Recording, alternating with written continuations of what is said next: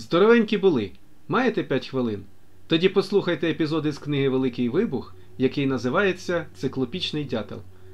Праворуч вдалині, немов якась фантасмагорія, над соснами виникли два нью-йоркські хмарочоси.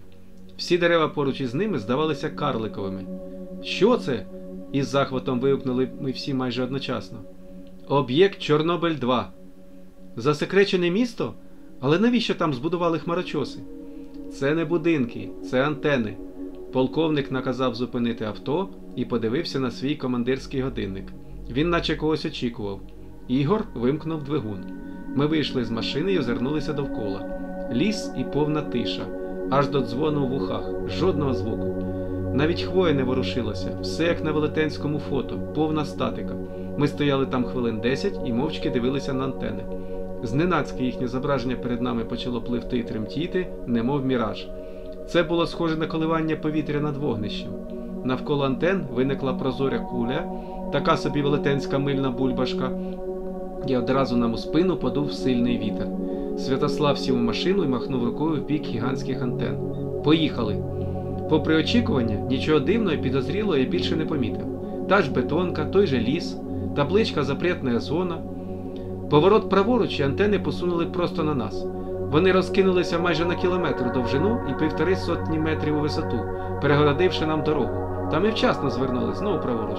Я прогавив момент, коли наш джип перетнув уявну оболонку і опинився вже всередині тієї мильної бульбашки. Невдовзі приїхали КПП. Нас пропустили відразу і без зайвої перевірки документів. Вочевидь, Святослава тут знали в обличчя. Паралельний світ? Я вважала, що це фантастика. А де ви, по-вашому, знаходитеся зараз? У Чорнобилі 2. Правильно. І вас нічого не здивувало? Листя на деревах. У Києві ще всі дерева голі, тільки цвісти починають. У вас тут що, тепліший клімат? Наскільки я розумію, ми їхали на північ. А те, що наша станція взагалі працює, вас не дивує? Я тільки не хотіла про це спитати. Невже наша держава знайшла кошти на реконструкцію цього унікального об'єкту? Ваша держава до цього не причетна. То може це приватний інвестор? Ви що, смієтеся? Це ж військовий об'єкт, а не туристичний комплекс. Святославе, ми потрапили в минуле? У вас є машина часу? Не все так просто, пані Ганно, відповів провідник. Щоб пояснити, куди ви потрапили, мені треба для початку зробити невеликий екскурс в історію. Ви чули про секретний експеримент, здійснений в 1943 році в США? Тоді вдалося вперше штучно викривити простір і час у земних умовах.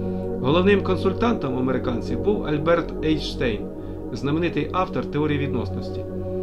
Колись давно я бачив голівудський фантастичний фільм Секретний експеримент, пригадав я. Там йшлося про те, як американці намагалися зробити військовий корабель невидимим для локаторів. Для цього на ньому встановили спеціальну апаратуру, яка створила навколо корабля яйцеподібне електромагнітне поле. В результаті він не тільки зник з екранів радарів, але й взагалі з поля зору. Навіть промені світла, викривляючись, обходили його. Більше того, корабель разом із екіпажем потрапив в майбутнє.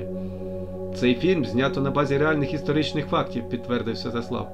За винятком того, що есмінець Елдрідж потрапив не в майбутнє, а на якийсь час провалився в паралельний світ. Люди штучно створили ефект Бермудського трикутника, таку собі невеличку чорну дірочку. Ейнштейн перед смертю спалив рукописи, які, вочевидь, стосувалися повної картини багатовимірного світу. Він засуджував застосування атомної бомби, тому вважав, що людям рано відкривати деякі закони. Адже вони не дозріли до цього морально і можуть нашкодити собі і своїй планеті, немов діти, що бавляться з сірниками. Ви чули про невклідову геометрію Лобачевського, в якій через одну точку на площині можна провести безліч прямих паралельних даній? Тоді як в геометрії Евкліда, яка вважалася до цього єдиноправильною і можливою, існує тільки одна така пряма. Ви хочете сказати, що в Чорнобилі перетинаються кілька паралельних світів? Чорнобиль 2, Чорнобиль 3, Чорнобиль 4 і так далі? Принаймні зараз ми перебуваємо в Чорнобилі 2, посміхнувся Святослав. Раніше люди вважали, що існує тільки один, єдиноможливий варіант розвитку земної цивілізації, записаний у священних книгах, прямий як стовбур сосни в лісі, від створення світу і до кінця. Проте насправді він розгалужений, немов крона могутнього старого дуба. Є точки біфуркації, від яких, наче гілки, відходять альтернативні варіанти розвитку. Саме в цих точках і перетинаються паралельні світи. Сподобалося? Більше про цю книгу в описі під цим відео.